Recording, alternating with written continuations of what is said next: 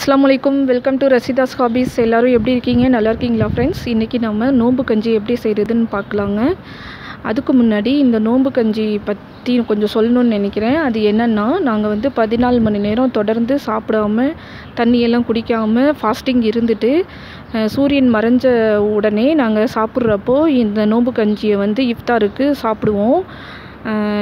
அது ஏன்னாக்கா இதில் வந்து நிறைய தேங்காய் பால்லாம் ஊற்றி செய்கிறதுனால காரமே ஜாஸ்தி இல்லாமல் மைல்டாக சாப்பிட்றதுனால நம்மளோட தொடர்ந்து நாங்கள் வந்து பதினாலு மணி நேரம் ஃபாஸ்டிங் இருந்த இருந்தப்போ நம்ம வயிறு வந்து கொஞ்சம் குளுமப்படுத்துறதுக்காக இந்த தேங்காய் பால்லாம் ஊற்றி இதில் செய்கிறோம் வாங்க இந்த ரெசிபிக்கு என்னென்ன இன்க்ரீடியன்ஸ் தேவைப்படுது எப்படி செய்யலான்னு பார்க்கலாம் வீடியோக்குள்ளே போகலாம் ஃபஸ்ட்டு தாளிக்கிறதுக்காக ரெண்டு துண்டு சின்னதாக ஒரு பட்டை எடுத்துருக்கேங்க நாலு கிராம்பு நாலு ஏலக்காய் எடுத்துக்கோங்க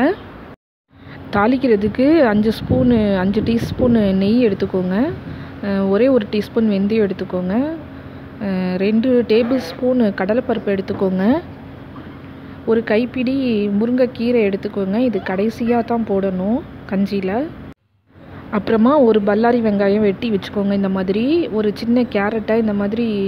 ஸ்லைஸ் ஸ்லைஸாக போட்டு வச்சுக்கோங்க ஒரு கேரட்டு சாரி ஒரு தக்காளி வெட்டிக்கோங்க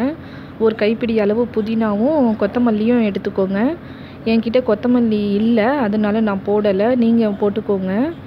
அப்புறம் வந்து ஹாஃப் டீஸ்பூன் வந்து இஞ்சி பூண்டு பேஸ்ட்டு ரெண்டு பச்சை மிளகா அடுத்தது பச்சரிசி வந்து இந்த ஒரு இந்த டம்ளரில் முக்கா டம்ளர் எடுத்துருக்கேங்க அதை மிக்சி ஜாரில் போட்டு குருணையாக உடச்சி எடுத்துக்கோங்க அப்புறம் நான் ஃப்ரோசன் பச்சை பட்டாணி எடுத்திருக்கேங்க அதனால தான் இந்த கலர் திக்காக இருக்குது அரிசி எடுத்த டம்ளர்லேயே அதே அளவு முக்கால் அளவு க்ரீன் பீஸ் எடுத்திருக்கேன் குக்கரில் நெய்யை ஊற்றி நெய் வந்து உருகுனதும் பட்டை கிராம்பு ஏலக்காய்லாம் போட்டு தாளிச்சுக்கோங்க இந்த மாதிரி தாளித்த பிறகு ஒரு ஸ்பூன் வெந்தயத்தை போட்டுக்கோங்க ரொம்ப கருக விட்டுறாதீங்க வெங்காயத்தை சேர்த்து வதக்கிக்கோங்க ரொம்ப நேரம்லாம் வதக்க வேணா கஞ்சியோட கலரே மாறி போயிடும் அப்புறம் இஞ்சி பூண்டு பேஸ்ட்டு போட்டு பச்சை வாசனை போகிற வரைக்கும் நல்லா வதக்கிக்கோங்க அதுக்கப்புறமா தக்காளி போட்டு ஆட் பண்ணிக்கலாம் தக்காளி போட்டதும் கூடவே கொஞ்சம் உப்பும் போட்டாக்க சீக்கிரமாக தக்காளி வதங்கிடும்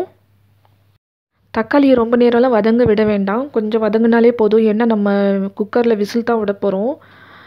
ஒரு புதினா கொத்தமல்லி பச்சை மிளகா கேரட்டு பச்சை பட்டாணி இதெல்லாம் ஆட் பண்ணிக்கோங்க வரிசையாக ஒன்று ஒன்றா எதையும் வந்து வதக்கிட்டு இருக்கணுங்கிற அவசியம் இல்லை குக்கரில் ஒன்றாவே விசில் விடுறப்ப அது வந்து வெந்துடும் தனியாக வதங்க வதக்கிக்கிட்டு இருக்க வேண்டாம் காய்கறி எல்லாம் ஒன்று ஒன்றா ஆட் பண்ண பிறகு தண்ணியை ஊற்றிக்கோங்க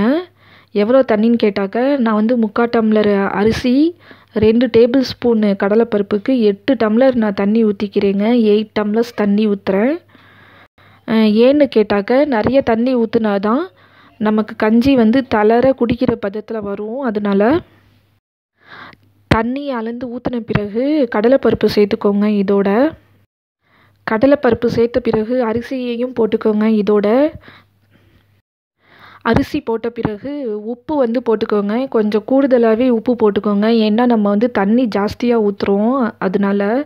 பின்னாடி தேங்காய் பாலும் ஊற்றுவோம் அப்பவும் தே தண்ணி தேவைப்படும் எக்ஸ்ட்ராவாக ஆட் பண்ணி